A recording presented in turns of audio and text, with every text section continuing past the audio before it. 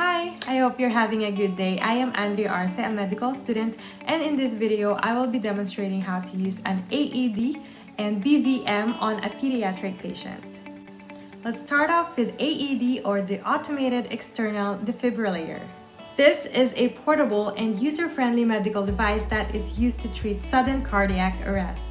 It is designed for use by lay rescuers without medical supervision and treats cardiac arrest by delivering electric shock to the heart called defibrillation. This stops the abnormal electrical heart activity and allows the chance for the heart to function normally. So how does it work? This will automatically diagnose abnormal electrical heart activity that causes cardiac arrest and analyzes the heart's electrical activity through electrode pads applied to the chest. Defibrillation provided by an AED is highly accurate and effective but must be done fast and carefully. Modern AEDs have CPR feedback technology and are recommended by the latest international resuscitation guidelines. They provide real-time feedback for depth and rate of chest compressions, which allows rescuers to know how well they are performing chest compressions. The difference between an adult and an infant on defib is that the pad goes to the center of their chest and the second pad goes to the middle of their back so their heart is in a direct line between the two pads. If both of the pads are on the front of the child, they'll be too close and you'll get voltage leakage between the two and you wouldn't get a circuit across the heart.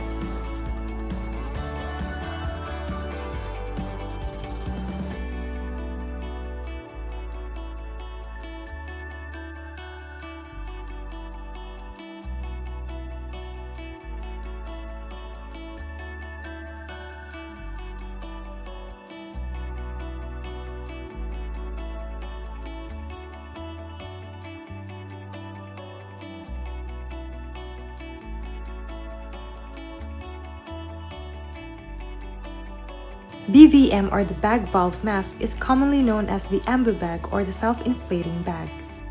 BVM is a handheld device that is used to provide pressure ventilation to patients who are not breathing or are not breathing adequately. These are the main components of self-inflating bag valve mask. The bag has two main wave valves. When the bag is compressed, the oxygen intake valve closes and the valve to the patient opens. When the bag is released, the bag to the patient closes and the oxygen intake valve opens, allowing the bag to fill with gas from the oxygen tubing. The tubing is connected to the oxygen source and from the oxygen reservoir, and the oxygen reservoir permits the bag to fill completely with oxygen that would provide 100% oxygen.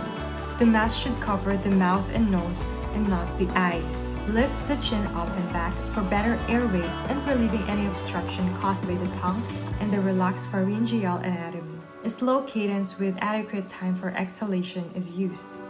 Squeeze, release, release. Breathe, two, three, breathe, two, three. In one-handed bagging technique called the C-clamp, the index finger and thumb form the C which maintains a seal.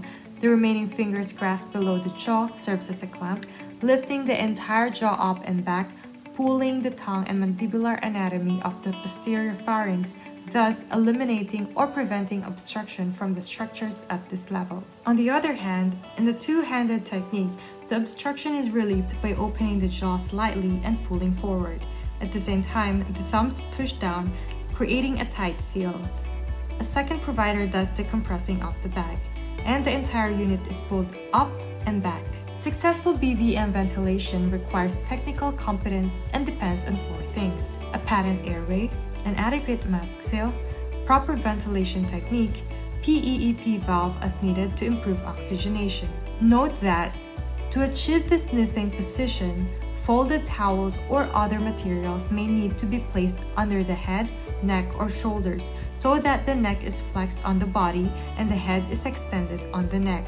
In children, padding is usually needed behind the shoulders to accommodate the enlarged occiput.